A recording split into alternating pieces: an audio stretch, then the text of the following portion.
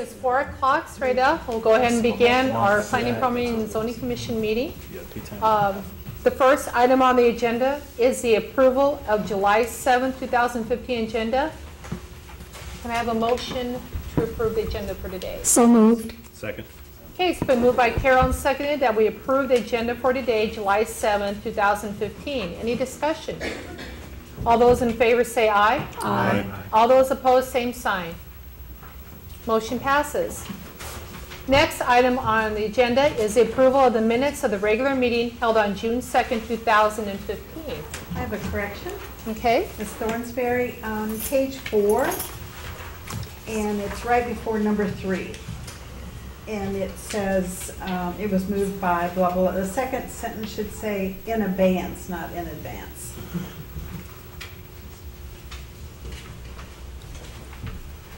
Oh, yeah, that makes sense. Yeah. Do you see it, Lynn? Advance instead of advance. So, held in advance. You're saying grammatical? I, I think it's just the wrong word. Yeah. Advance would mean that you're asking for it ahead of time. Right, Abeyance would okay. be- You're holding it. Right. Just held, so just take that, have that removed, just Yeah, be just held. change the Okay. word to I abeyance, gotcha. yeah. All right. Okay, is there any other corrections to the minutes? I move that we approve the amended minutes for the meeting on June 2nd. Second. Okay, it's been moved by Jerry and seconded that we approve the amended minutes of the regular meeting held on June 2nd, 2015. Is there any other further discussion? All those in favor say aye. Aye. All those opposed, same sign. Okay, motion passes. Next item on our agenda is to receive and place on file the financial report for May 2015. Staff report. This is Anderson with staff. Um, This goes through May 31st of 2015, which puts us at 83% of the fiscal year for us. Um, As you can see, uh, going down through the items, we're close to 83% in most categories, um, with a couple of exceptions for some revenue um, of property sales, than- but we've made that up in some other areas. So overall, we're right on track for the year. Any questions for staff? Okay, it'll be noted that we will receive and place on file the financial report for May 2015. Okay, the next item on our agenda is oral presentations. This is for anything that is not currently listed on today's agenda.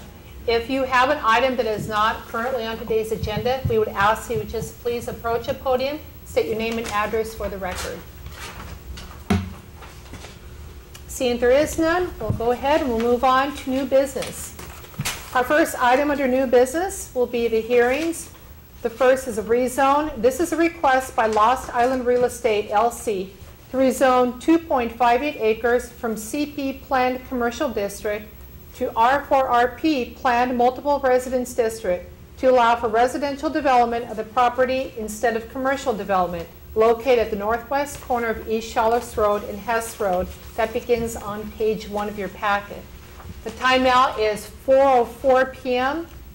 Um, There's a hearing scheduled for this time, and at this time, we should receive and place on file a statement of verification signed by Patty McGee stating, "I, Patty McGee, do hereby certify that a copy of the attached letter, site plan, and aerial photo were mailed to each individual on the attached list by regular mail on June 24, 2015."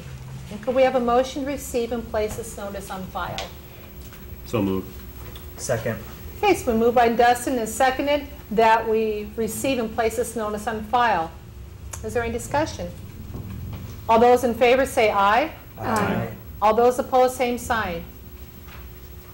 And the motion carries. Staff report. This is Andero staff. Uh, This is a request to rezone 2.58 acres of property uh, from CP Plan Commercial District to R4RP Plan Multiple Residence District. Site was re, or the area in question was rezoned uh, to CP in August of 2010. Uh, Surrounding land uses and their zoning include to the north Bamboo Ridge Campground, Zone CP Plan Commercial. South is South Hills Golf Course, Zoned A1 Agricultural District. East is Lost Island Water Park and Vacant Development Ground, Zoned CP, Planned Commercial District. And west is Single Family Residential Development, Zone R2, one and two family residence district. Proposed rezone area consists of approximately 2.58 acres of land located near the northwest corner of East Shaulis Road and Hess Road, just south of Highway 20. Uh, The applicant is rezoning portions of their property that was rezoned to CP Planned Commercial in August of 2010 to R4 RP Planned Multiple Residence District to develop the site for single-family uses. Uh, The applicant is requesting to plat this land into new lots for single-family residential development in a separate request at tonight's meeting.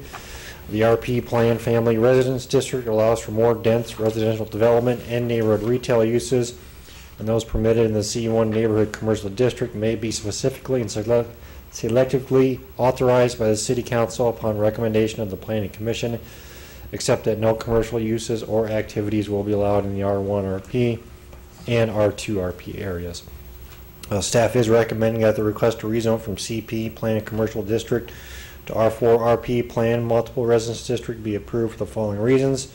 The proposed rezone area is in conformance with the comprehensive plan and future land use map, which designate this area as low-density residential, mixed residential, professional office, and neighborhood commercial, allowing for infill development within the primary growth area. Two, the site in question would appear to provide sufficient space to meet all required regulations, including setbacks, drainage, landscaping, screening, etc. Three, rezoning of the land will provide for additional ground within the city to be, to be developed for future residential uses. And four, the proposed rezone area can be served by the extension of existing utilities within the surrounding area. Okay, questions for staff? This is Thornsberry. I don't see any mention of the request by the traffic engineer for a traffic study to be done. I- I'm not clear as to when that would happen. Uh, I believe we're going to mention that in the plat uh, request. Okay. I didn't see it there either. But if, if since you brought it up, we can talk about it if you'd Okay, like. that'd be nice. Uh, Let me get to the plat request in the packet here.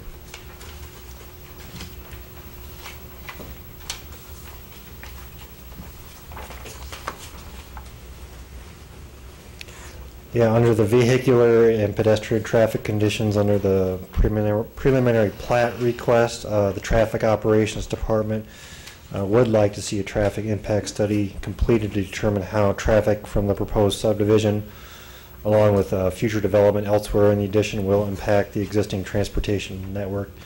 However, uh, that was, is not a condition of approval of that particular request. So uh, in the future, um, when the ground begins or is ready to be developed, they are wanting a traffic impact study turned in. So help me understand these would, could, maybe words. I mean, if, if the traffic engineers thinks that there's a potential problem, then when would the city say, yes, we're gonna do it before any development happens? I don't get it. The city of, this is Anderson with staff, the city of Waterloo has actually earmarked funds um, through our Metropolitan Planning Organization, which is the federal road dollars received um, in the year 2016 to look at the entire analysis of the Laporte Road and Hess Road um, corridor from Shaulis up to Mitchell. Um, So we're anticipating the, a fuller analysis of all the traffic movements through that, that entire corridor in the near future. Um, estimating the amount of, of build-out of this area versus the timing of that, um, we don't think that we need to do a traffic analysis at this point, um, since that other one is forthcoming. Obviously, that's something that the commission can, can weigh in their approval as well. So what is the, what would be the ramifications if indeed development happens and then the traffic study shows that there's some mitigation required? What happens? We'll have to look at our options for mitigating whatever needs there are. Um, A lot of times there are traffic safety funds, there's other funds that we can go after to make improvements to road. Um, Again, looking at that entire corridor, obviously, we're, we're earmarking funds for the study of that corridor because we'll plan to earmark funds for the redevelopment of that corridor in the near future. So if there is, it's, you know, all of the, the sites are sold in development, and if there's a lot of congestion and it's not safe there, then the city, the taxpayers pay for it, and we don't request the developers to do anything? Um, You'd have to look at, is there existing conditions out there now that also cause congestion? So a lot of times it gets very difficult to determine exactly who would be responsible for paying for that. Obviously, the city has the ability to enter into partnerships with developers. They also have the ability to assess improvements to property owners, which is rarely done, because a lot of times it's difficult to pinpoint, you know, is, is there traffic conditions or problems there now because of this development, or is it because of the new Shaulis Road was opened in, recently, or is it because of additional traffic at Lost Island Water Park? How do you determine exactly who pays for what? So typically, the city will look at all those and, and look at ways to fund it again through Iowa Department of Transportation safety funds or congestion funds, or there's different sources that we look at to make traffic improvements. Hmm, thank you.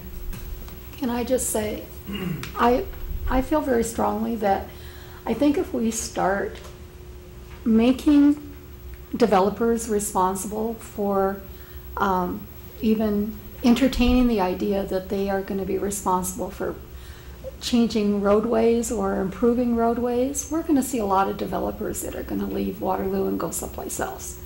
You don't see that happening in Des Moines and Cedar Rapids and other cities. And if we want to encourage development, we need to do everything we can to support developers and help them. And I feel when we're talking about road, road uh, service into these developers, developments, that the city is responsible for that, not the developer. I mean, that's my own personal feeling.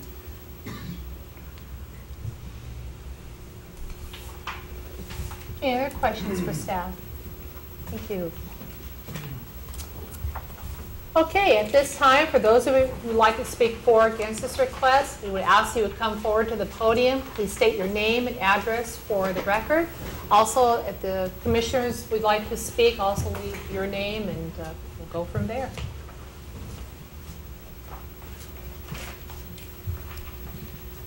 Mike Dryden, Ament Design, 625 32nd Avenue Southwest, Cedar Rapids, Iowa. I'm representing Lost Island. I don't know if there's any questions specifically. And Gary Bertch um, with Lost Island is also here if you have any specific questions. Otherwise, I don't really have anything to add. I have a question, and this may just be just a minor detail. You're looking to get requests to change this into, um, from commercial to residential. Correct. Is that specifically tied to the plat that is Yes. following that?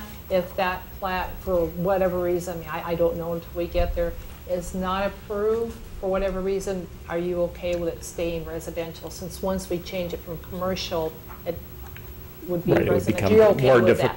Yeah, Okay, I think so. Yeah. okay. Anything else? Anyone else? Thank you, sir. Anyone else from the audience wish to speak for or against this request? If not, I'd like to turn back to the commission for a motion to close the hearing. So moved. Second. Okay, it's been moved by Carol and seconded. We close the hearing at this time. Any discussion? Okay, all those in favor say aye. Aye. All those opposed, same sign. Okay, the motion passes. This time, I just entertain um, either a motion or discussion to move forward on the zoning request. I'd like to make a motion to approve the request to rezone from CP Planned Commercial District to R4 RP Planned Residence District. Second. Okay, it's been moved by Mike and seconded that we approve the CP Planned Commercial District to change to R4 RP Planned Multiple Residence. Any discussion? Lynn, I just want to correct you. It was um, moved by Matt, not Mike. Matt. That's all I've right. been, I've served the commission how long? Why do I call you Mike? I'm sorry, Matt. Got That's the all right. first letter right. Sorry, for the record. It was moved by Matt and seconded that we move forward on the, on the request and approve that from CP to R4RP. Apologize. Okay, any other discussion? All those in favor say aye. Aye. All those opposed, same sign. The motion passes. Okay, the time now is 4:15. Our next item under new business is a plat. This is a request by Lost Island Real Estate LC for the 118 lot preliminary plat of Island West Addition located at the northwest corner of East Shaulis Road and Hess Road. And it's beginning on page eight of your packet. Just a little note, they might be a little hard to read, so you might have to thumb through a little bit. Uh, At this time, we should receive and place on file a statement of verification signed by Patty McGee stating, "I, Patty McGee, do hereby certify that a copy of the attached letter, site plan, and aerial..." Sorry. Oh, I'm sorry. There's a copy. Just Yeah, plat, I'm sorry. It's okay. Okay. So do we, do we need to, Nope. oh, Staff okay. report. Okay, staff report. Uh, Sandia staff, uh, this is a request preliminary plat approximately 73 acres into 118 residential lots for the purpose of developing a residential subdivision. Uh, Proposed plat is served by Hess Road from the north and south and East Shaulis Road from the east and west, both of which are classified as minor minor arterial roads. Also, multiple new streets are proposed as a part of the new plat as it develops, and the proposed streets will be classified as local streets. Traffic Operations Department would like to see a traffic impact study completed uh, to determine how traffic from this proposed subdivision, along with future development elsewhere, uh, in the addition will impact the existing transportation network in this area. Staff is currently in the process of obtaining necessary right-of-way and easements for the new recreational trail along the north side of East Shaulis Road, adjacent to the proposed plat. Uh, When the trail is completed, the Shaulis Road recreational trail will extend from Isle of Capri Boulevard westward to Highway 21, will- will- where it will connect to the existing Road rec trail that extends westward to Highway 63. Future plans call for an extension of the Isle of, uh, from Isle of Capri Boulevard eastward to the Cedar Valley Nature Trail. Angus Dri- Drive, which is located within the Guernsey addition to the west, would not be extended and connected into the proposed subdivision. As the property owner completed a program through the Iowa Department of Natural Resources to create a wetland directly next to the end of Angus Drive. Uh, Removing that wetland would require that the property owner mitigate the wetland loss and establish a new wetland elsewhere. Uh, Submitted preliminary plat does show the locations of proposed water and sanitary sewer. Um, However, the applicant has, uh, since at this time, turned in an updated plat that does show storm sewer. Um, MidAmerican Energy has also requested that there be 10-foot easements on the frontages of all lots within the subdivision.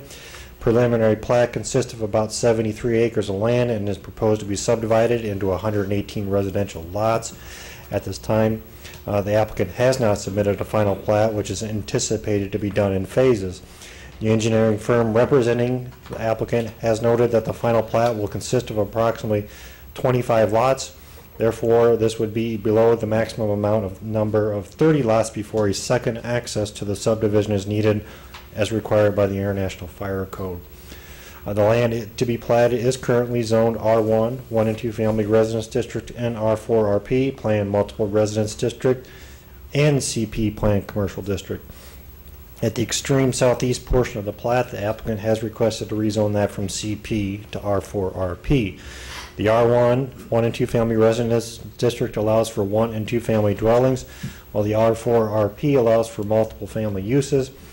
Also, the RP planned residence district allows for more dense residential development and neighborhood retail uses, and those permitted in the C1 neighborhood commercial district may be specifically and selectively authorized by the city council upon recommendation of the planning commission. The RP Plan Residence District is a site plan specific district. At this time, no site plan has been approved for the site, so a site plan amendment will be required in the future. Um, As noted, we have received an updated plat, but I will go over the things that we were needing prior to this meeting, which we needed to show sidewalk connections being shown to the planned East Shaulis Road recreational trail. Building lines needed to be labeled on the fronts of the lots. MidAmerican Energy had requested 10-foot utility easements along the frontages of all the lots in the subdivision. Uh, The city is currently acquiring right-of-way and easements for the Shaulis Road recreational trail extension project, and areas to to be acquired by the city need to be shown within the plat. Uh, Proposed street lights need to be shown on the preliminary plat, as well as a complete stormwater plan must be shown. Proposed street names in this subdivision have been reviewed by the engineering department for any conflicts with other street names in the surrounding area, and there are no conflicts. All other requirements for the preliminary plat pro- process appear to be met on the submitted plat. It is staff's recommendation that the request for preliminary plat of Island West Addition uh, be approved due to the following reasons. The plat can be serviced by the extension of existing utilities in the area. The plat will create an infill development site within the primary growth area, as well as additional housing development options within the city. And the plat is in conformance with the future land use map for this area, and with the condition that the final the submitted documents are updated as corrected by, eh, and corrected as indicated by staff. In which we have received an updated plat from the applicant, so.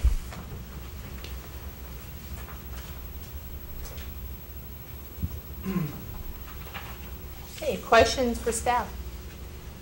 Mrs. Thornsberry, I have a few questions. The, in the tech notes, when this was discussed, there were 10 different items that were identified as missing mm-hmm. or needing updates. Have all of those been satisfied? Yes. in- Yes, okay. Prior, just to, prior to the tech meeting, though, we did receive another updated plat, so that's why the list was smaller in the packet of information you have here, so. Okay, and then the last thing about the boulevard entrance, the 28 feet versus the 31 feet? Uh, that's probably a question that the applicant would have to address as far as it- whether the street was sufficient for what the type of subdivision is they need. Okay. Thank you. This is Whitehead. I have a question on the, the zoning of the western, I'm gonna call it the western third or western fourth, where it's R1. What, uh, I guess, which zoning is gonna, I guess, govern that area? The most restrictive? Yes. Because you have 10 lots that are split. Yeah, the zoning ordinance, this is Anderson with staff, the zoning ordinance will note that anytime that there's a conflict between different portions of the zoning ordinance, the more restrictive will apply. Okay,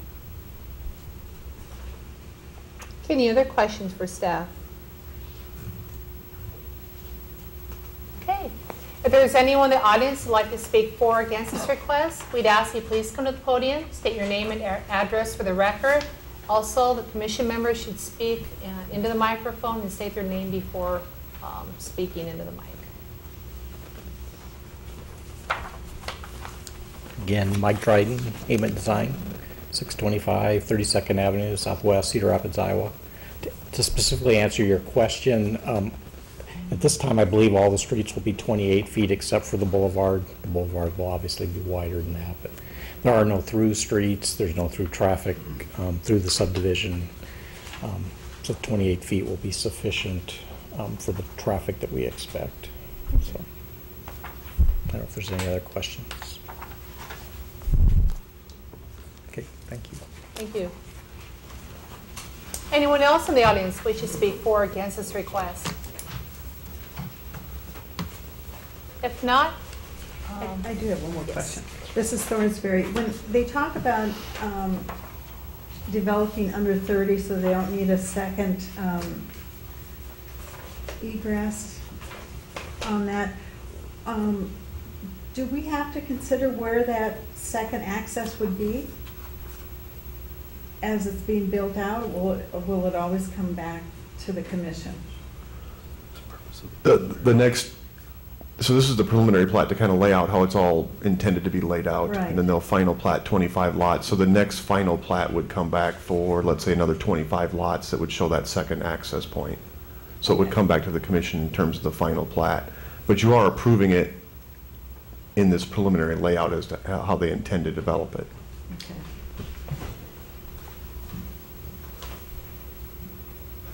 any other questions?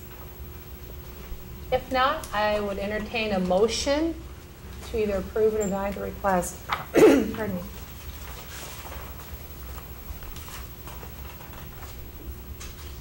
Mrs. Thornsberry, I move that we approve the request for the preliminary plat of Island West Addition and to be approved with the um, with the following condition that the submitted documents are updated and corrected as indicated by city staff. Second. Okay, it's been moved by Chair and seconded that we approve the request by Lost Island Real Estate for the 118 lot preliminary plat of Island West Addition um, with the conditions so outlined in the request. Is there any further discussion? All those in favor say aye. Aye.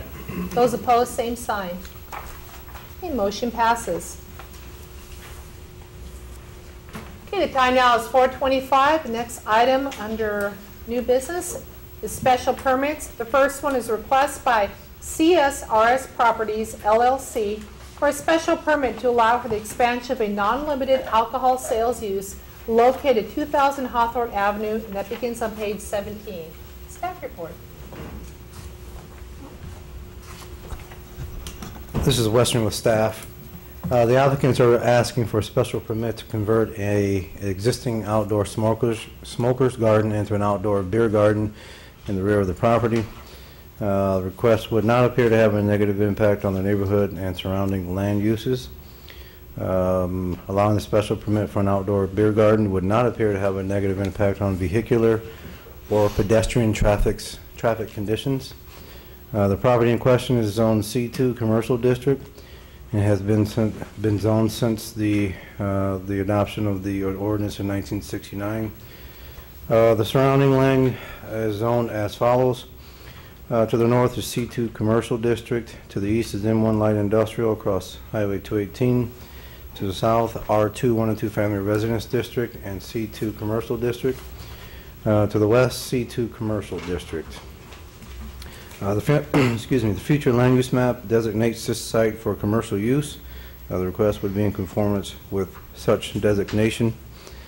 Uh, The applicant was granted a one-year special permit to establish a new, non-limited alcohol sales on premise, on-premise consumption on March 12, 2013, under the condition that a six-foot solid fence along the south property line to act as a buffer for the adjacent residential properties. Uh, The property is now being brought before the commission again to request a special permit to convert an existing 450-square-foot concrete patio area into a beer garden. Conditions that were set at the 2013 meeting have been met by the applicant.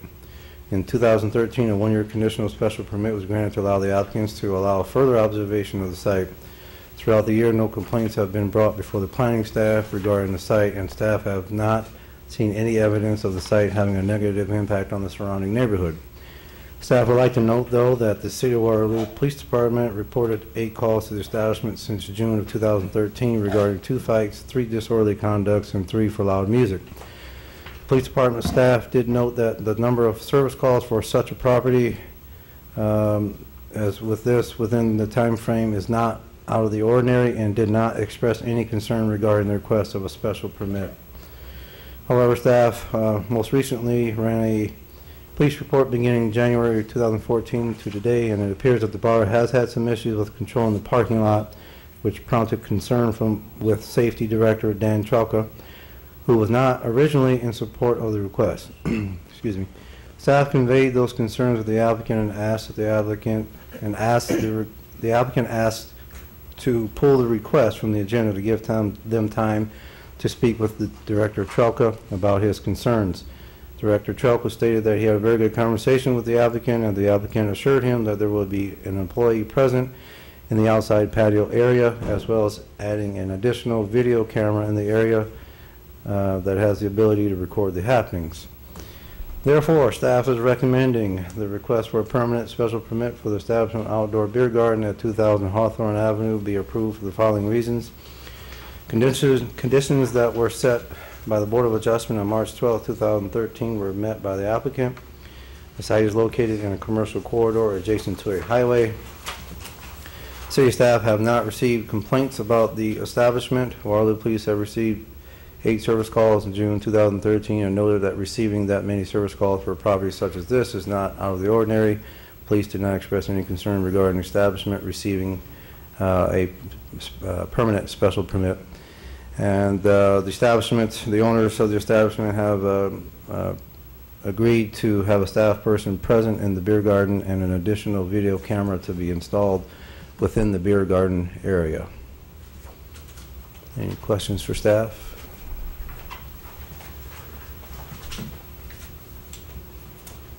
Thank you. Okay, if anyone would like to speak for or against this request, we would ask you to come forward to the podium. Please state your name and address for the record, and the commission members as well. State your name. My name is uh, Randy Soper, 1309 East Shaulis Road, Waterloo, Iowa. I'm the president of CSRS uh, Properties and uh, run Saks Neighborhood Pub. Uh, Just to let you know, the conditions that I talked to Director Tralco about have already been met. We've already got the cameras installed, all the proper insurance, everything else we've done. And as in the past, when we were here asking for permits and things before, we've always followed through with what we said we would do, and I've always tried to uh, respect whatever the city and the police department would like of us. That's it. I'd just like to say, this is Tackett. I like to say that I did stop by there shortly after it was built. I used to live near that neighborhood, and personally, I was very impressed. I talked to one of the ladies that worked there, I know she's one of the managers, but how they said it's become kind of a neighborhood place, and it seemed very clean.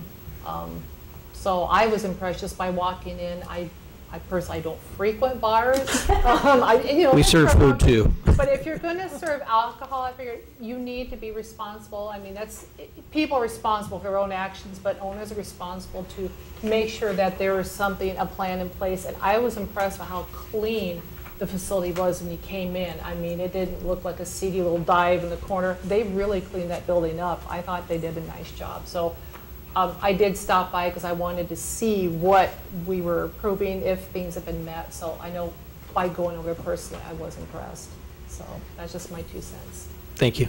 I'd like to add actually that, you know, in the past, we've seen applicants come that have been to the commission prior and they've been conditioned and they haven't always been met. And so I appreciate, I'm sure the rest of the commission appreciates that uh, you guys are handling your business. uh, We try. And and following up and, and uh, sticking to the agreement. So, thank you. Other comments or questions for the applicant? Thank you. Okay, anyone else like to come to the microphone and speak for or against this request? Again, please state your name and address for the record. Okay, if not, I will turn this back over to the commission for either final thoughts or a motion. Mrs. Morrison, I have one question. I noticed that this request is going to be for a permanent permit versus the usual one-year ones that I think we normally see. So I know if there is an issue in the future, can that permanent permit be modified? Um, This is Anderson with staff. Yes, it can. Um, Aric Schroeder is actually the expert on that part of the ordinance, but there's, there's an annual review process that we can go through, um, especially if there's any problems. Um, There's a process in the, in the liquor ordinance portion of the zoning ordinance that allows us to go in there and ask for records, ask for um, meetings with, with the owners if there's problem, problem property. So there's definitely conditions and, or safeguards in place, we'll call them. Even with the word permanent, there's the potential for review if concerns arose down the road? Correct. Okay.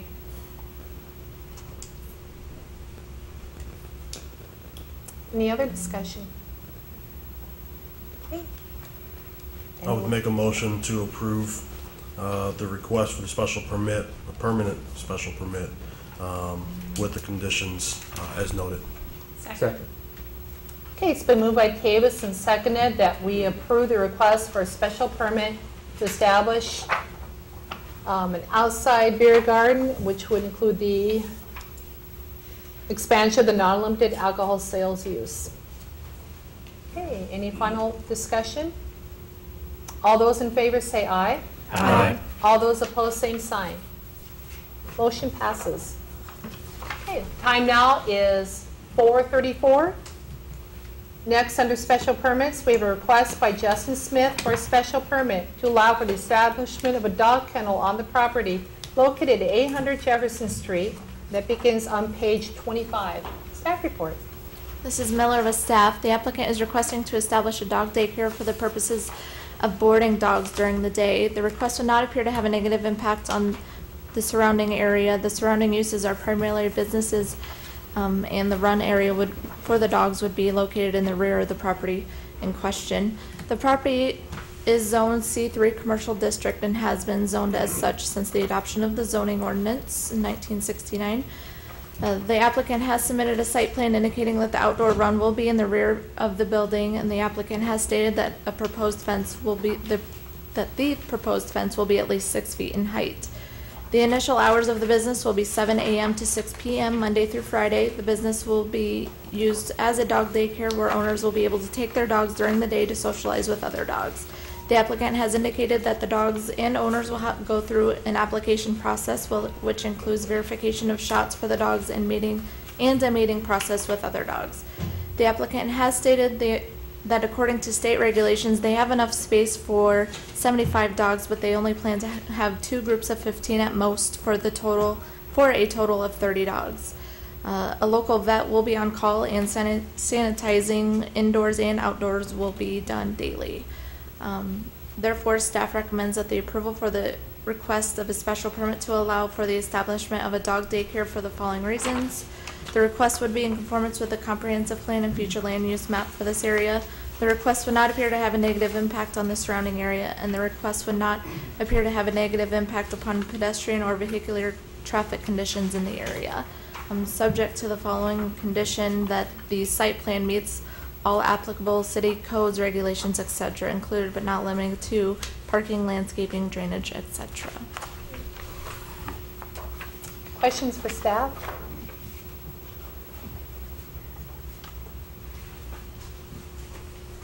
I do have one question. Um, I'm looking, I believe it's on page 33, where it's showing the pictures. Was- I think, isn't this, is this the one that's got the blue and white trim? Used to be like a Correct. dance? Am I Yes. on pick that?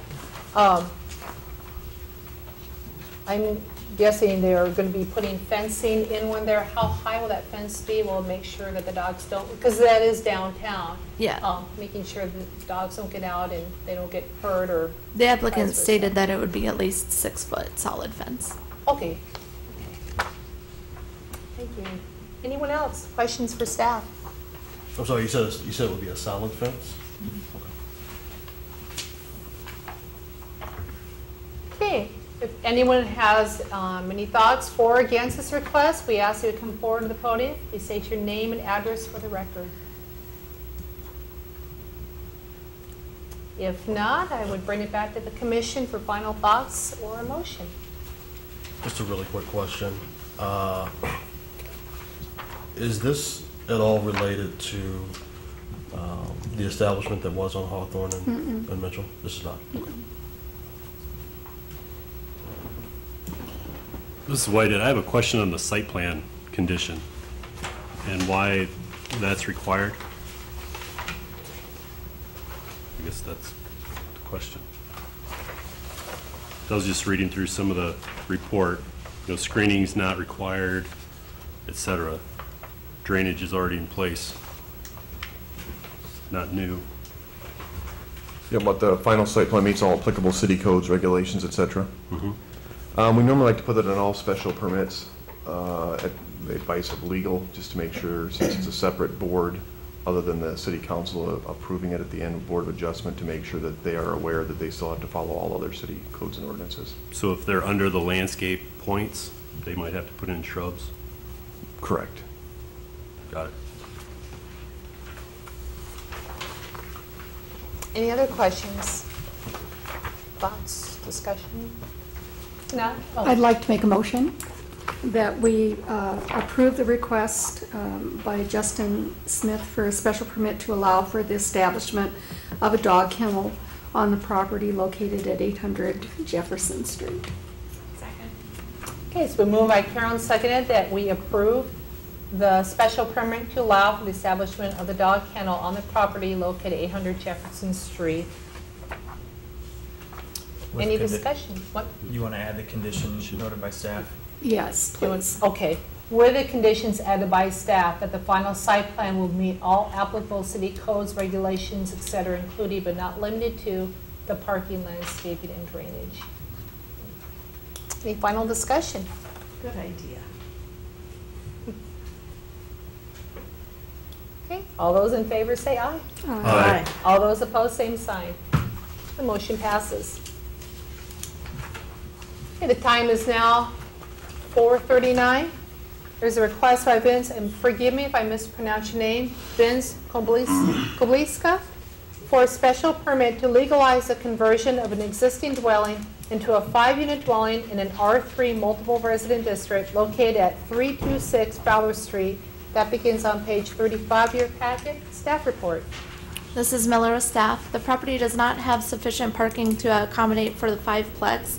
The applicant has submitted an application to purchase the property to the south, which is owned by the city of Waterloo, that contains a total of 3,650 square feet in order to bring the property into compliance with parking regulations within the zoning ordinance. The applicant has noted that he would like to hard surface the area if he were to obta- obtain the additional parcel. All surrounding streets are classified as local streets. Sidewalks are located along north and east property lines of the property. The property in question is zoned R3 Multiple Residence District and as are all surrounding properties. Um, the, there would not be any screening requirements for this development if a parking lot is construct, constructed on um, the lot to the south. Screening would, screening of the parking lot would be required. Um, the lot is currently zoned R3 Multiple Residence District, which has requirements of 10,000 square feet and 80, and an 80-foot lot width for five units. This lot would also need um, 2,500 square feet lot area per family, or in this case, a total of 12,500 square feet to meet density requirements. The applicant will be asking for a variance to the minimum lot width, minimum lot area per family, and minimum lot area requirements, even if the city-owned lot um, were included with this request.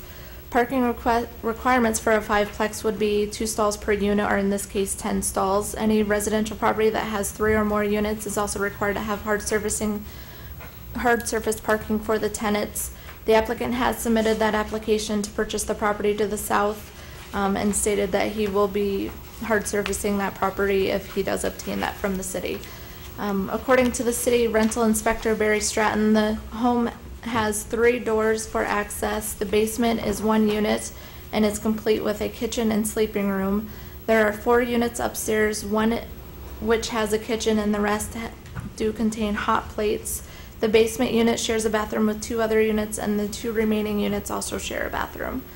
Um, The building inspections department has expressed that if the home were to be approved for five units, the applicant would need to bring the home up to code. The home would have to have sprinklers installed, firewalls between each unit, along with numerous electrical, plumbing, and utility updates to bring it to building code requirements. Staff does not support the approval of the conversion of the home into five units. However, staff is recommending the home be approved for a duplex.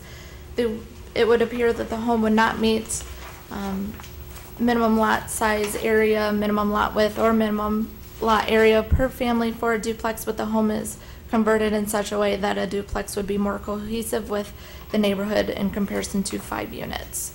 Um, Therefore, staff is recommending denial of the request to legalize of the five-unit conversion, but would recommend approval of the request for a special permit to allow for the establishment of a duplex for the following reasons. Um, The request would be in conformance with the comprehensive plan and future land use map for this area. The request would not appear to have a negative impact on surrounding area, and the request would not appear to have a negative impact on the pedestrian or vehicular use conditions in the area if it were to be a duplex. And with the following conditions, that the final site plan meets all applicable city codes, regulations, etc., including but not limited to parking, landscaping, drainage, etc. Any questions for staff? This is Thornsberry. Um, The, does, if it, if we approve the duplex, would that also be, would it be required to have that adjacent lot? It still would not meet current density requirements if it were that duplex. Um, They would not necessarily need to acquire that if they don't want to. It's kind of up to them, I guess, at that point.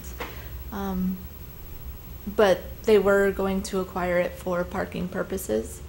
Um, If they do not meet current parking per- regulations for a duplex, then they might want to look into obtaining it still. I guess that's kind of up to the applicant at this point.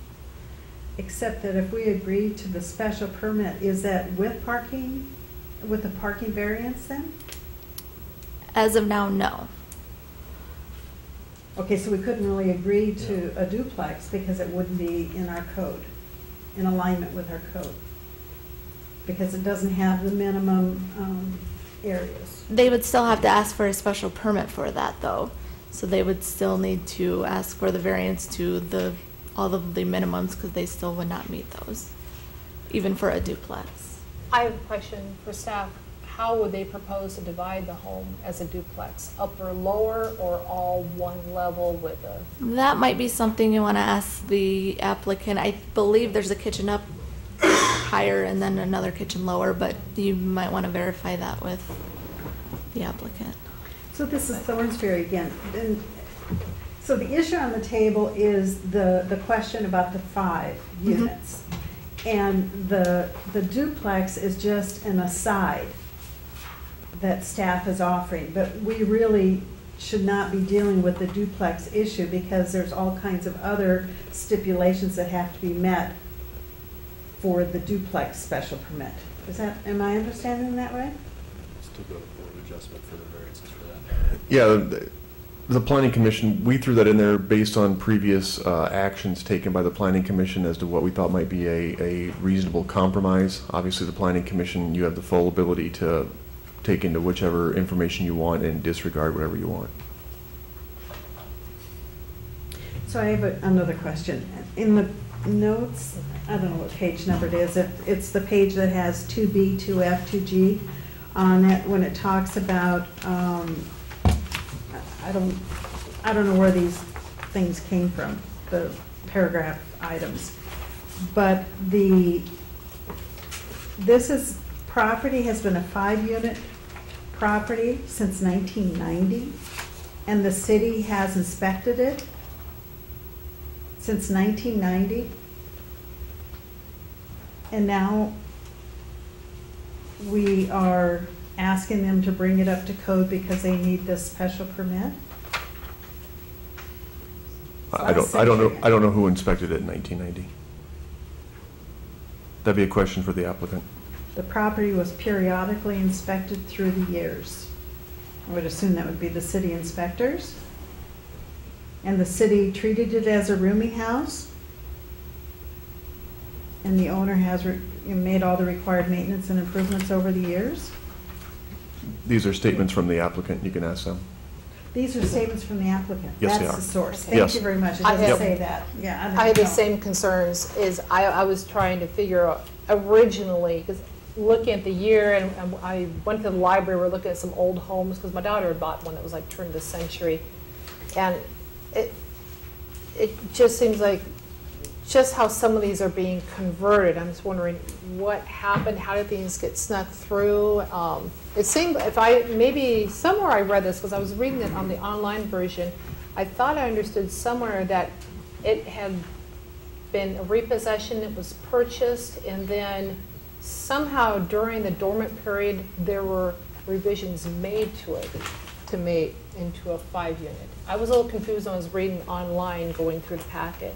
Um, So everything that we're being told, these are applicant statements, we don't have anything like an abstract or anything of record? Okay. Because I was just wondering how that, how that happened, just, This is Gustafson. One question that I had um, in regard to the original um, a- uh, um, application for variance is, I didn't hear anything about the units in the basement that we were requiring an egress. And don't um, any bedrooms in a basement have to have an egress?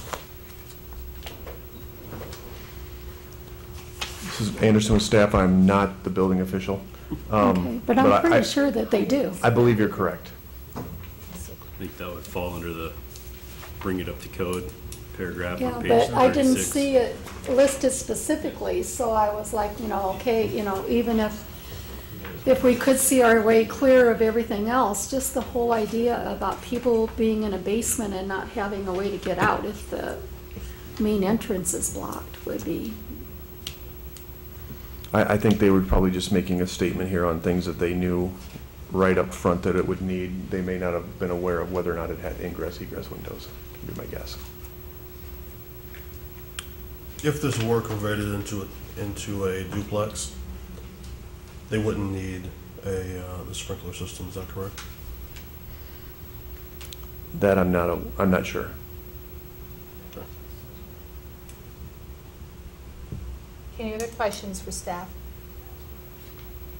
Okay, if there's anyone in the audience who'd like to speak for or against this request, please come to the podium and state your name and address for the record.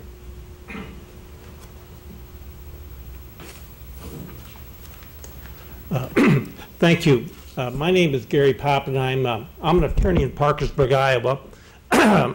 Address there is 234 Third Street. Uh, I do live in Blackhawk County at 8110 Buck Ridge Road, Cedar Falls.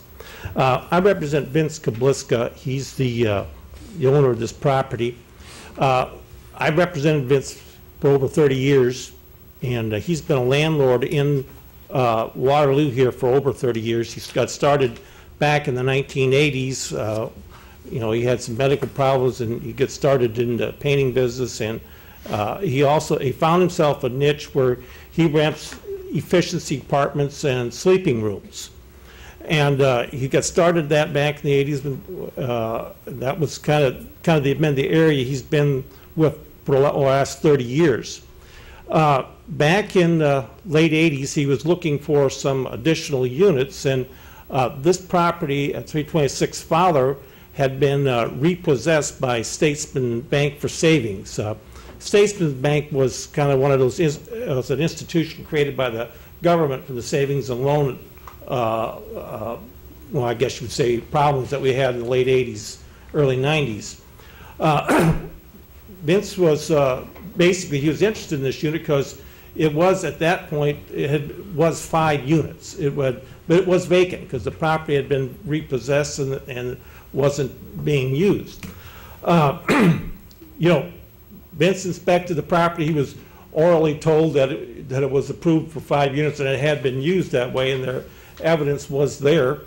Uh, He started, he rented the, bought the property, I think January 2nd in 1990, and has owned it ever since. Uh, He, uh, part of, like I says, his business is sleeping rooms. He's, he'll, he'll take people who are temporary workers in the area.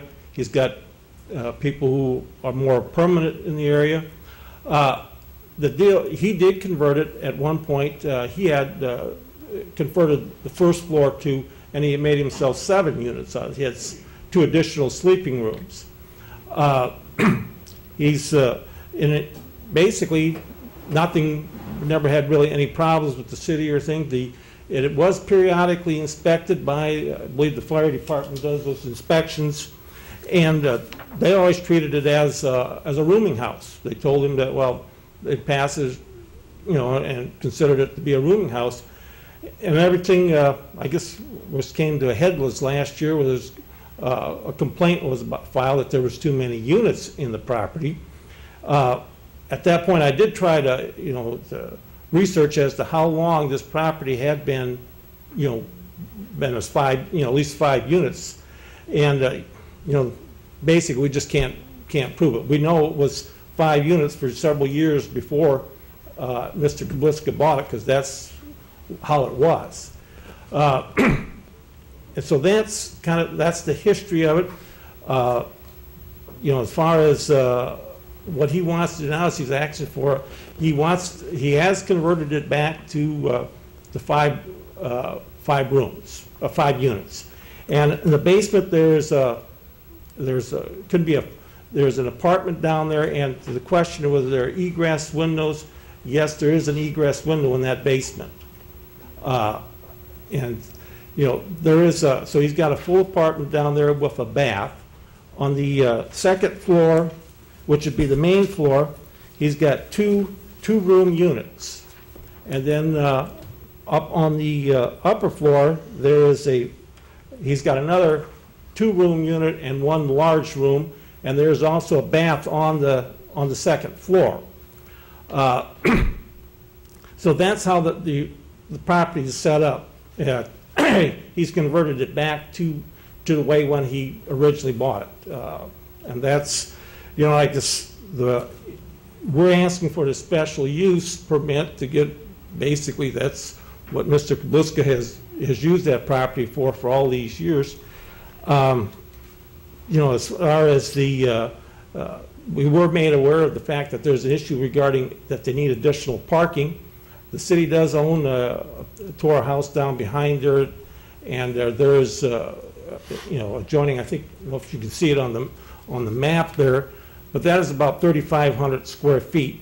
And, uh, uh, you know, his proposal is if he, if this is approved, he will try and buy that property from the city and to put in the requisite hard surface uh, parking in that area. Uh, And that uh, will take care, you know, I think take care of the parking issue, and he'd be an off, off-street. Uh, As far as, uh, you know, you know, the issue of duplex, I guess, would be, you know, Mr. Kabliska really is, you know, isn't in, you know, his niche or way he rents properties is he rents to uh, people who, uh, you know, some are temporary workers, sometimes students, sometimes uh, he's taken, I says through his years, I think, I wrote down, he's told me that he's taken uh, people from community, you know, recommended by him by community services, family management, Butler Grundy Mental Health, Operation Threshold, veterans groups looking for reasonable parking, uh, apartments. uh, And uh, and I think through the years that I've asked him, he's never, uh, you know, he's had some complaints with, uh, with tenants. He's always taken, taken care of his, uh, any complaints. I don't, I think this is really the first uh, problem that he's had is, is that this property uh, was not, uh, at least a record, converted uh, to multifamily whenever it was. And we, like I said, our problem here is we just can't prove when it was done. And if it was done long enough ago, it would have been grandfathered in, but we couldn't, couldn't show how long that was. Uh, As far as the use of it, uh, what he'd like to do now is have two, uh, it- I think the R3 permits a rooming house like, like it's been used through the years. Uh, He wants to have a, two, uh, you know, apartments, and then the other ones, three things to be sleeping rooms, you know, maybe a microwave in them and such, you know. Uh, You know, as far as uh, the codes and regulations, I says, you know, his, he rents these properties, he pays all utilities.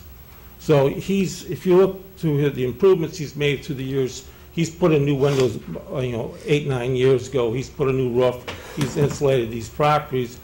And uh, the way he, he manages all of his properties is, he visits them almost daily. Know, He's got around, you know, he may skip a day or so, whatever. So that's, you know, he's followed through and, uh, you know, these properties are, you know, well-managed. Uh, He serves kind of a a niche market and, uh, you know, to justify what he's got in it, that we uh, that if, uh, you know, if the special permit was approved, letting him, convert- you know, have five units, is what it was originally, that he would, uh, he would buy that at the, the, uh, uh, you know, the, you know, at least attempt to buy that from the city. Uh, Like I said, convert it to, leave it at five units, and, um, you know, as far as, you know, the area, of the square footage, that would give him, my calculations, uh, a little over 9,000 square feet if he buys that, that unit. In addition, you know, uh, this is a corner lot, the city, and, you know, he doesn't actually own to the, uh, to the, uh, to the curb. Uh, You know, from the sidewalk to the curb is actually owned by the city, but uh, when I say 9,000 or plus square feet, he does, that's not including from the sidewalk to the curb. He maintains that, and I says, I think if you added that square footage in there, he would be over 10,000, you know, as far as a green area where people use. It would be over, I think, around 10,600 square feet, you know. Again, though, he would only own the nine because the city would own, still owns from the, basically from the sidewalk to the curb. Uh, Then, uh, as far as, you know, you know, his, you know, his target tenants here generally are not, not uh, uh, families, you know, with young children. He's looking at, uh, he rents to adults. Uh, This has, uh, he- you know, he's, through the years, this has been a neighborhood that he's had some, some difficulties in, and he's, he's, you know, worked best he can, and he's maintained his properties, and we're, basically, he's asking that he be allowed to do what uh, he, uh, you know, when he originally bought this property uh, 25 years ago, and we felt that if we get the special use to be approved, then, uh, you know, we could see, see if he complies with everything, and if you want, if you want, I guess it can be reviewed if he, you know, if he fails to meet that, but I have every expectation he will. He's been, like I says, a landlord for over 30 years. I know that there was, uh, the, there's one adjoining uh, property that abuts up this.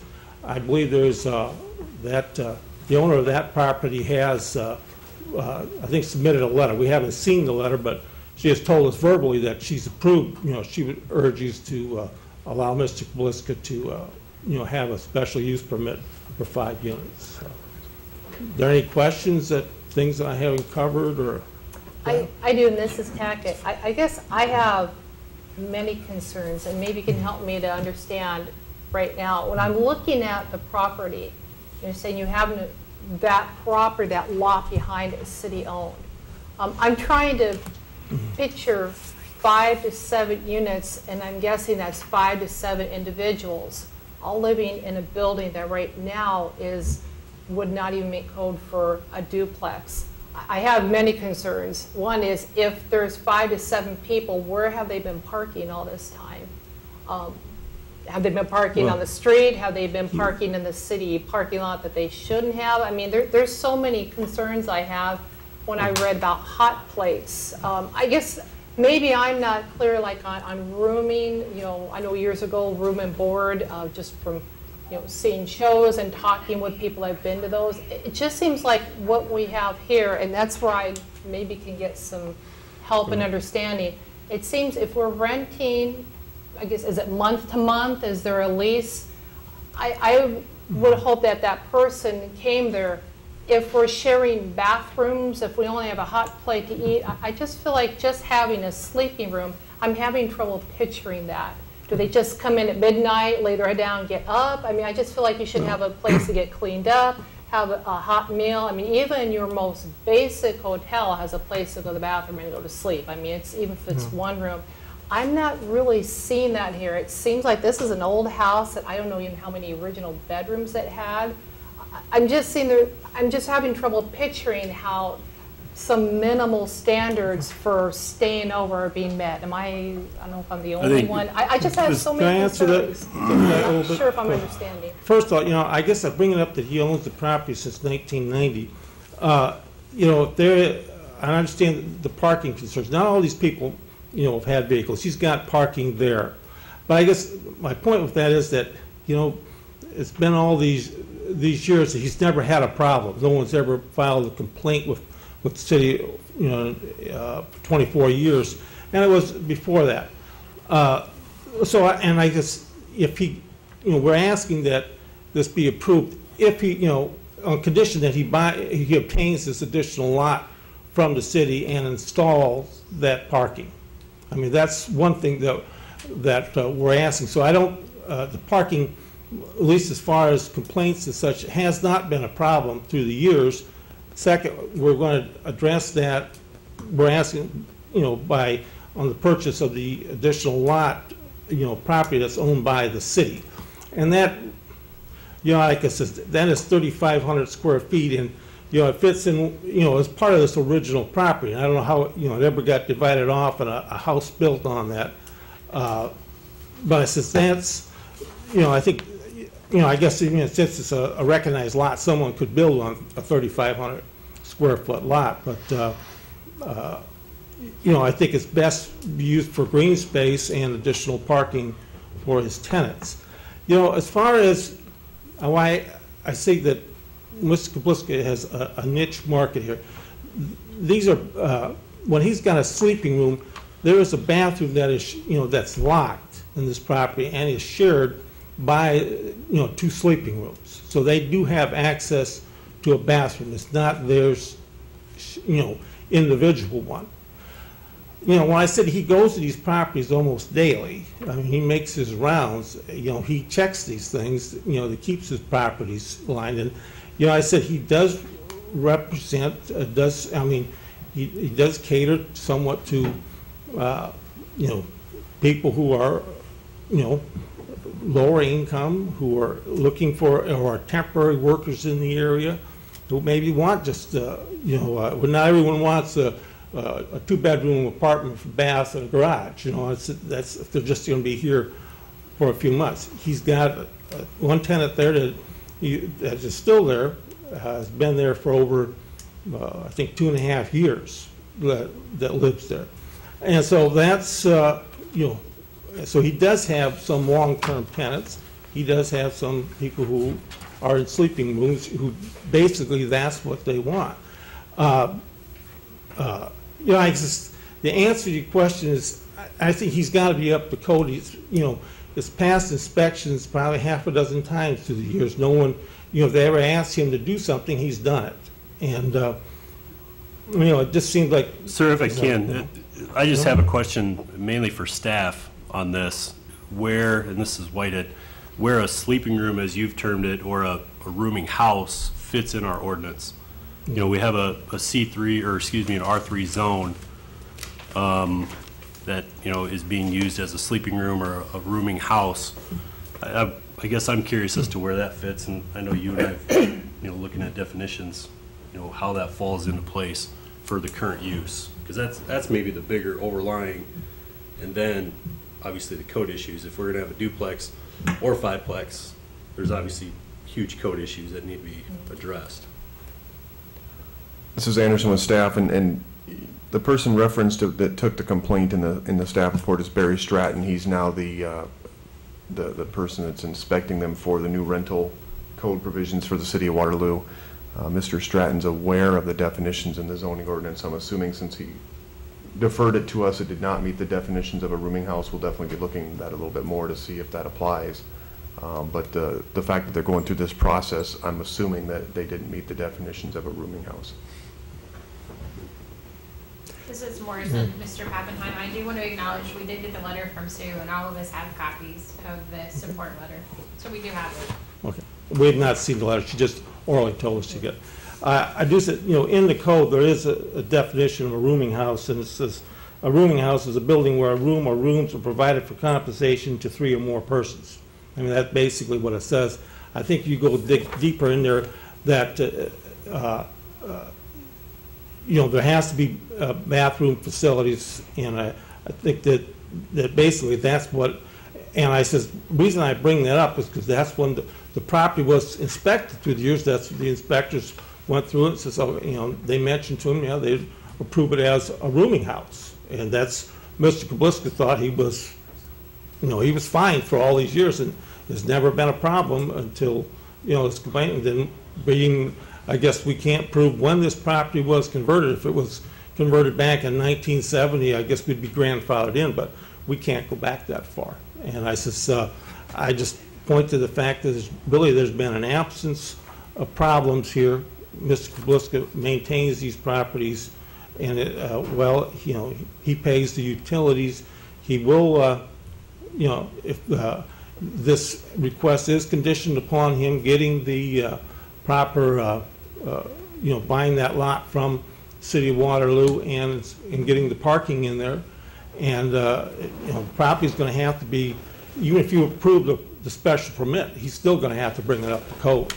I mean, he's going to have to work that out, and I'm not sure I can uh, address each, you know, all the ins and outs of what's, got- but I mean, I would say, you know, even if you approve our special permit and we get it, and we get our parking, we still have to uh, meet the, the city code, you know, what the thing, and I guess uh, I'm confident that he'll be able to do that. He's, you know, basically, since from 1990 to mid-2014, it's inspected and, and every, you know, they have asked him to do things through the years, and he's done them, you know, they, Um, so- Sir, I have a question.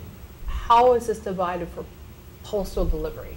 Because I What? know, how is this divided for postal delivery? Because I know when you're um, delivering mail, are the tenants, have they been required to have a PO box? Or is it divided by letters, by numbers? Because I know that, um, I used to work with the post office, that's why I wonder. And to be an established individual residence, there has to be some type of um, numbering or lettering system, and then it has to go through the post office. Because I'm thinking if we're just roaming here, I guess I have a lot of concerns and questions. When I've had people that have had to workplace, uh, my ex, for example, went, um, was with, when, uh, when they were doing some trimming down in Oklahoma, he was a tree trimmer. When a company puts people up temporarily, that's usually paid for either in a stipend or there's money that's already taken care of.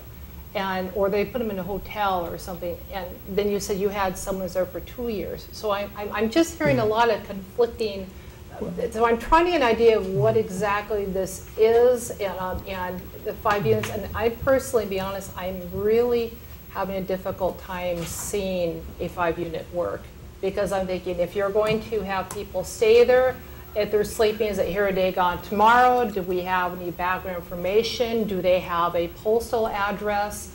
Um, We've had no parking lot, and- and you said a lot of them, they don't have vehicles, but if you want to have a five-unit, then you're going to need a parking lot. So I'm just hearing a lot of conflicting information in my mind that I'm trying to picture this as being a legitimate five-unit residence. That's where I'm coming from. I'm really struggling to, This is Get this. Lynn, can I just say, um, I, I think personally, I don't think that we can do anything with this.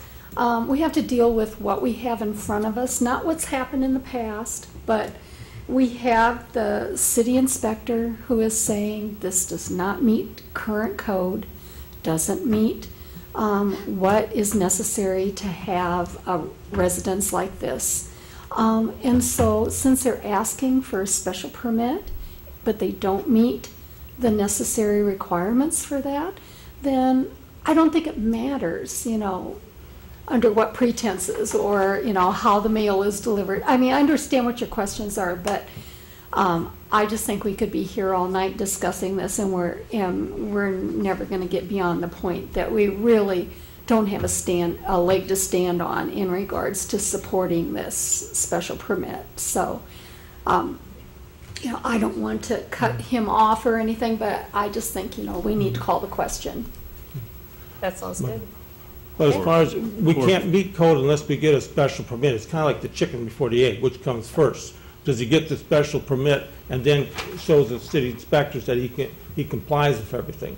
I mean, if he goes to city inspectors and gets everything up to code, he says, well, you still don't have the square footage, you don't, you know, we can't, can't approve you. So it's kind of a, you know, a catch twenty-two for him.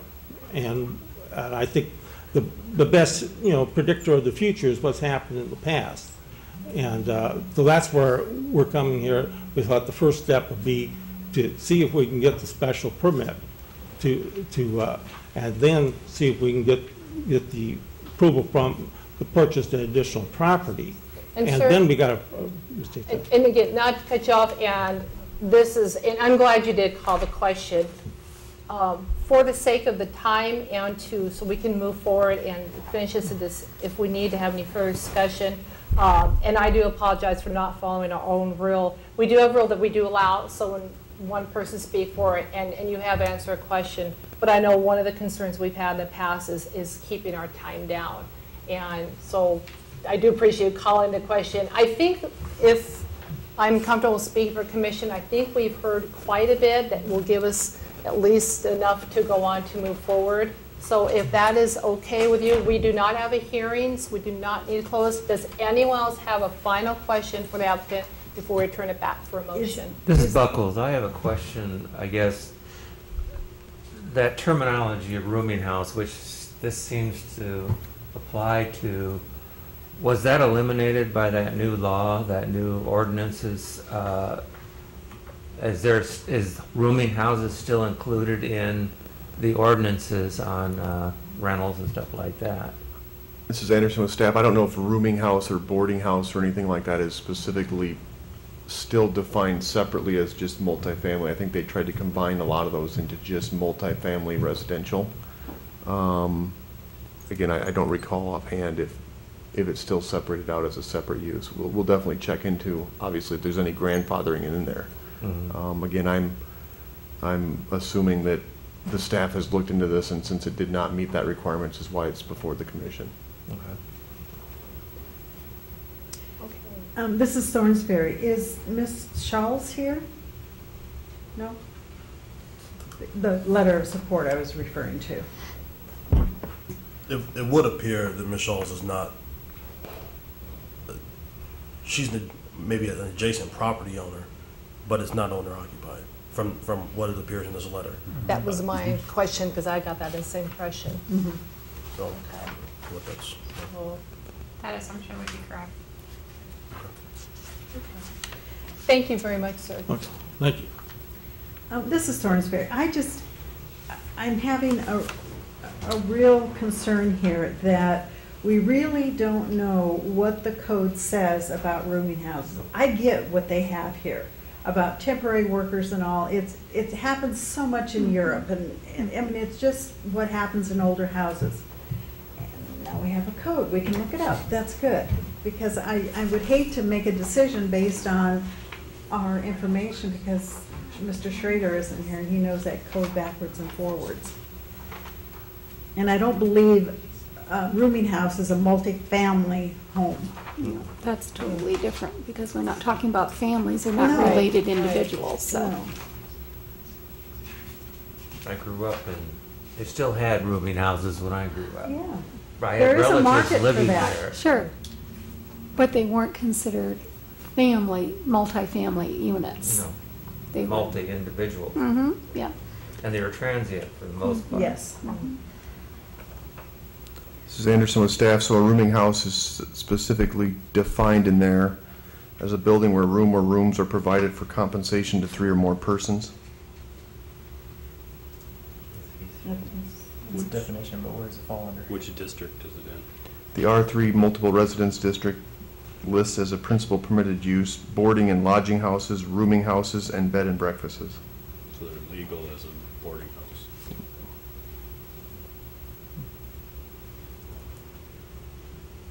That just threw a wrinkle and everything. I understand what the attorney was stating in the fact that they need the special permit in order to start being in compliance. But I guess I would rather that they bring it back after they've sat down with the city inspector and have a specific list of the things that need to be done so that we can therefore, if we decide to give a special permit, we have some, a check and balance statement that we can go by. These are the things that must be done in order to be in compliance with the code. And, you know, if that is, is taken care of, then, you know, we can move forward. But I just, at this point, I just don't think we have enough information um, to be able to, to act, you know, in any kind of an educated way. At least I'm just speaking for myself. Well, Mrs. Thornsberry, in the report on page two of three, it tells, it lists out significant um, updates that the um, applicant would need to do. No, I understand, but, but I think it needs to be even more specific than what is there. This is Anderson with staff, and yeah, I would note, even as a permitted use in the R3 district, uh, based on the information in the staff report, it would not meet the minimum lot area for what would be considered an other permitted use other than a one or two family dwelling. Um, However, that could change the specifics of the action needed if they would want to move ahead with legalizing this. So our best bet may be to table it at this time so that we can make sure we analyze properly the steps needed. I agree. So I entertain a motion. This is Buckles. I entertain a motion to table this matter until we can get better clarification. Second. Okay, it's been moved by Steve and seconded. We table this issue until further clarification can be provided. Is there any final discussion? Okay, I'm going to ask for roll call vote on it just for the record. Whitehead? Aye. Tackett? Yes. Thornsberry? Yes. Gustafson? Yes. Hall? Yes. Meany? Yes. Morrison? Yes. Buckles? Yes. Motion carries. Okay, so we will table this, and then if you would like to meet with the um, building inspector planning, um, they can help you move forward and see what the next steps are, and then down the road, you can meet with them about coming back. Okay, you're welcome. Okay, the time now is 5:20. Our next item on new business, an encroachment agreement. This request is by Jessica, what, uh, again, forgive me if I'm mispronouncing your name, I apologize. Jessica, is it Webecki? Weebeck. okay. For an encroachment agreement to allow for a fence to encroach 15 feet into the city-owned right-of-way located at 1625 Wakanda Drive That begins on page 44. Staff report. This is Graham with planning staff. Uh, The applicant is requesting approval of an encroachment agreement. Uh, This would allow for the construction of a new privacy fence which would extend into the city-owned right-of-way uh, by up to 15 feet. Uh, The request would not appear to have a negative impact on the surrounding neighborhood, as there are several other properties in this area that do have fences that encroach past the property line and into the city-owned right-of-way. Uh, The surrounding land use is mainly residential. You do have a park located adjacent to the south. As far as vehicular and pedestrian traffic conditions, uh, the request would not appear to have any im- negative impacts on uh, those conditions, as the fence would not appear to impede any sight lines for vehicles or pedestrians, and there are no sidewalks located adjacent to this property. Um, There is um, sanitary sewer and storm sewer located within Wakana Drive, and there is an overhead utility line that is located within this area. Um, The applicant would like to construct a new privacy fence in the rear yard. The property is a double frontage lot. Uh, The house does face and is addressed off of Wakana Drive, and West Donald Street's located on the south side. Uh, There is approximately 38 feet from the rear property line to West Donald Street, and the applicant would like the ability to construct the new fence up to 15 feet past the property line uh, and into the city-owned right-of-way.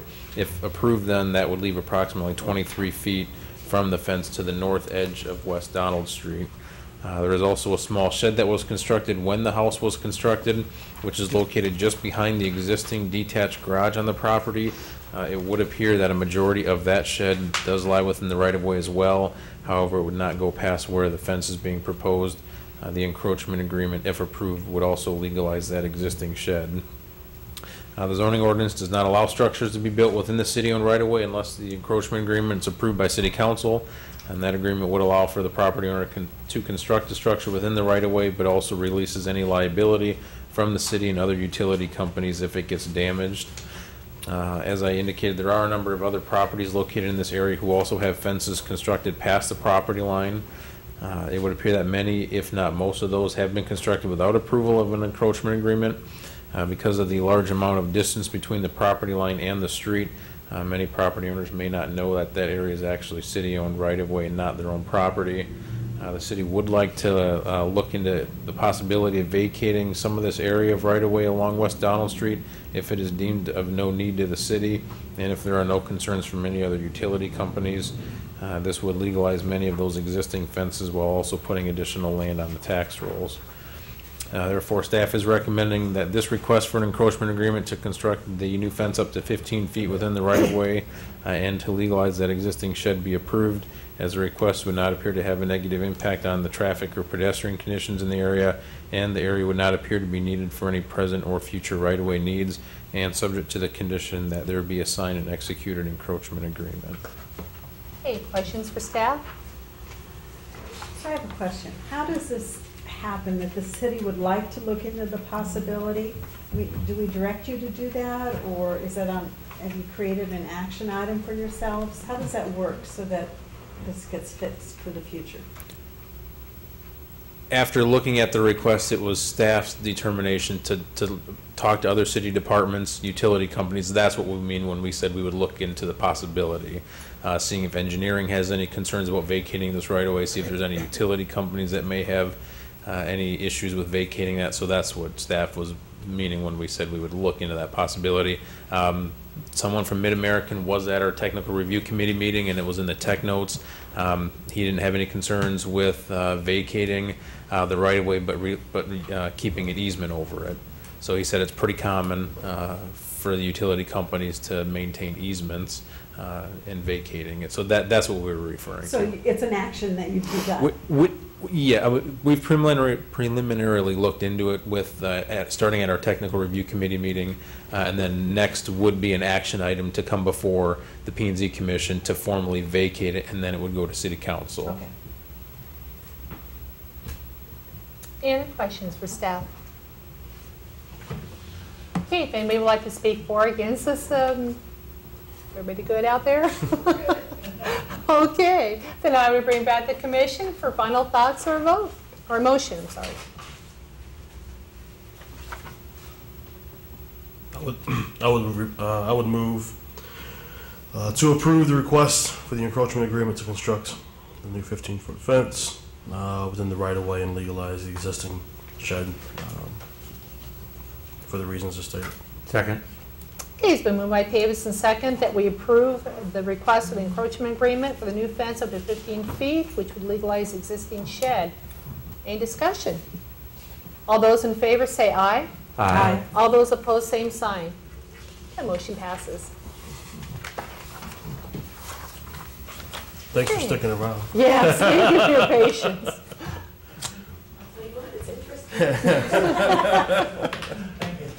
You're welcome.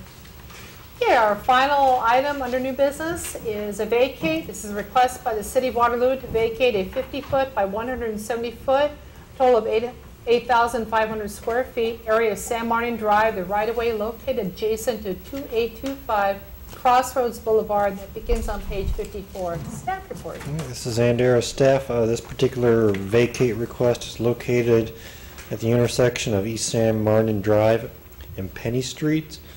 Uh, Both, East San Martin Drive is classified as a minor arterial and Penny Street is a local street. Uh, the Applicant is requesting to vacate 0.195 acres of city right-of-way at the use, at the intersection, uh, adjacent to 2825 Crossroads Boulevard, uh, which is the Pizza Hut restaurant there at the corner. Uh, There appears to be no need for the excess right-of-way, and vacating the right-of-way uh, would make the right-of-way line along East San Martin Drive consistent with no jogs in it. A right-of-way to the northeast of the area in question has been vacated in the past in 2005. When that area was initially vacated, a 50-foot wide easement was retained over that entire area. In June of 2011, the southeasterly 25 feet of that easement was vacated where 2833 through 2845 Crossroads Boulevard is located. Uh, At the Technical Review Committee, uh, the applicant, or excuse me, MidAmerican Energy did know that there are some utilities in the area, however, they do not know the exact location in, in, of those utilities, but did request that a 25-foot easement be uh, retained over their, the northwest westerly 25 feet of the area to be vacated. It is staff's recommendation that the request to vacate approximately 0.195 acres of East San Martin Drive right-of-way be approved for the following reasons. Request would not appear to have negative impact upon the surrounding area.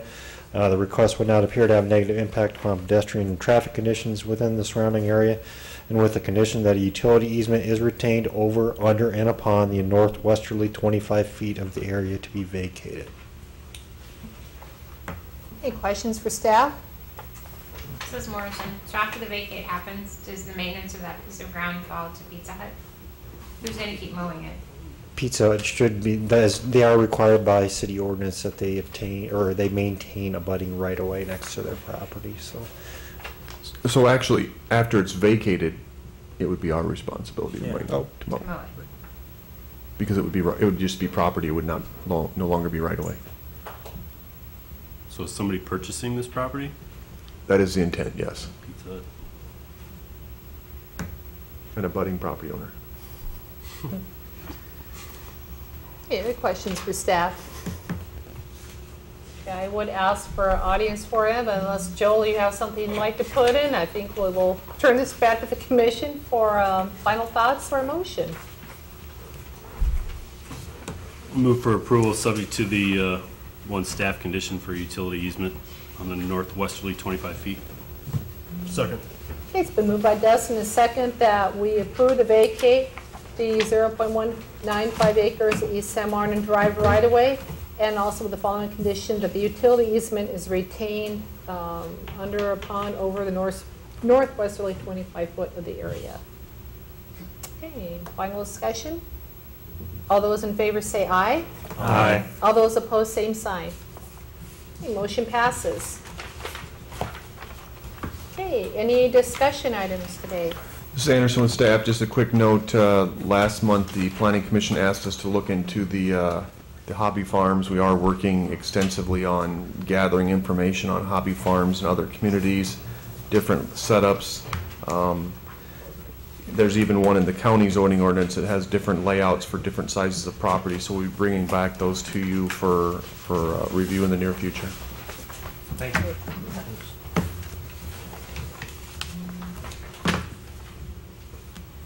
Okay, thank you. Any other final discussion items? I move that the meeting be adjourned. Second. Okay, it's been moved by Steve and seconded that we adjourn this meeting. Any discussion? All those in favor say aye. Aye. All those opposed, same sign. We are adjourned.